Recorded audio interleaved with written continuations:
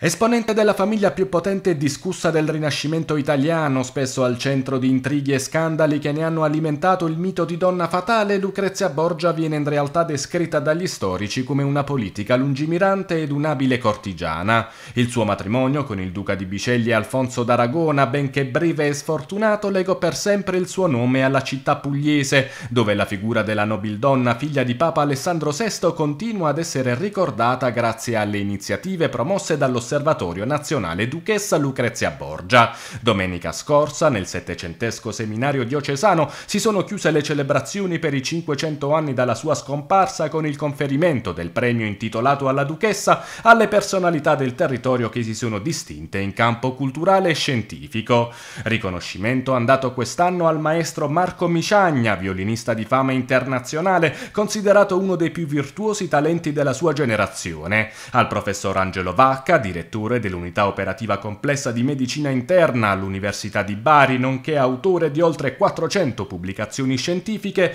e dal corso di laurea in lingua inglese della Facoltà di Medicina e Chirurgia dell'Ateneo Barese, rappresentato per l'occasione dal professor Luigi Santa Croce. Alla consegna dei premi hanno partecipato il sindaco Angelo Antonio Angarano, l'assessore alla cultura Tonia Spina ed il presidente dell'osservatorio Antonio Speranza. Si chiudono con questo evento le celebrazioni dedicate a Lucrezia Borgia nel cinquecentenario della sua morte.